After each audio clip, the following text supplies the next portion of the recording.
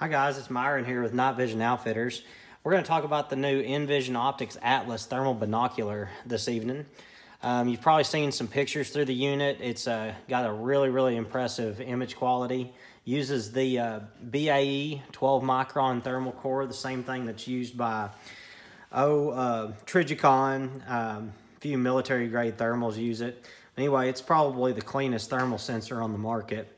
So we're just going to show you a few of the features on this, a few of the functions of it, uh, kind of how it comes to you, just a little overview, and then we'll show some video from uh, a hunt from the other night. So real quick, we'll show you kind of what all it comes with. Comes in a little hard case, just like this. Nothing too fancy. So a little padded hard case. Comes with uh, some of these optical tissues like every thermal seems to come with. It's got a little quick reference card. Uh, this is all your instructions, so it's real simple. There's the front page, tells you what the buttons do. The inside, so if anybody's trying to read that, you can pause it. And then on the back, very, very, very simple. So looking at the unit itself, on the top, power button here. Hold it down for about four seconds, turns it on, turns it off. When it's on, a quick press takes a photo. Next one over is your zoom. It's a step zoom, two and a half to uh, 20, I believe, in increments. Over here, center button takes you into the menu if you hold it down. Quicker press of it takes you through the color palette. You've got black hot, white hot, and then you can alternate either having um, edge detect enabled or a color mode. Up and down are plus and minuses. You've got a, that's a gain control that you can hit on the fly.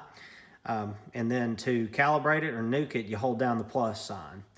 So on the front, you have an adjustable objective focus. On the back, it's pretty. It's a really pretty neat feature. It has an automatic diopter. So when you're looking through this thing, you don't have to adjust it to your eyeballs. It automatically co-aligns itself. So it really works very good. Everybody that's looked through it hasn't had any trouble seeing anything or having everything look awesome. On the front, you got a nice built-in rubber cap, very, very nice 50 millimeter lens. Uh, performance, as far as identification, detection at distance, very co comparable to the Trijicon 60 millimeter. Here's your battery compartment. Open it up here. You've got a little cartridge. It's all, you know, very well machined, well, well built stuff. Uh, three one two threes, kind of fits snugly in this little cap here and then you can drop it back in there, line it up with the threads, and then screw it back down. So nothing, nothing to it. It's really simple. On the bottom, this is your access for plugging those cables in. So you've got that little dot there, you just line it up and they kind of snap in and stay secure. So overall, very, very good design. It's very sturdy, nice rubber, ruggedized type housing. So now we're in the menu here. We'll show you the settings in here briefly, really easy. System settings, calibration type blade or manual blade is an internal shutter like Pulsar and some of them have. Video output, enable photo, so you can tell it whether it can save or not save pictures, output video, saves battery if you're not outputting video. Then video settings is next down. That's your brightness, contrast. Uh, CE level is a gain.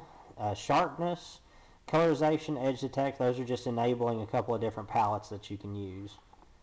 Then system info, that's just giving you your firmware. Gallery, if you've got any pictures on it, you can look at them there. And that's it. It's basically a one-page menu. Very, very, very simple. One thing I'd like to point out is how lightweight it is. It's fairly compact, but it's very lightweight and easy to carry around. This is with batteries and everything ready to go. You're at one pound and just over nine ounces. So less than two pounds for a 50 millimeter scanner. That's pretty impressive.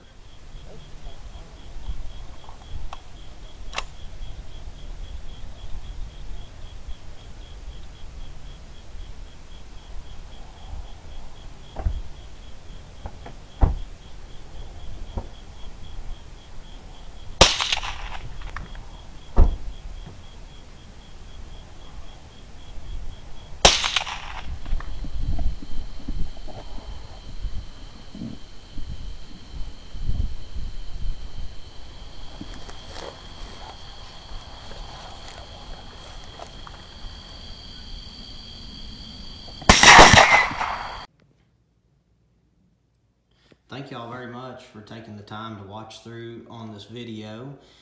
If anybody has any questions on this unit, please let me know. Otherwise, you guys take care and thanks again.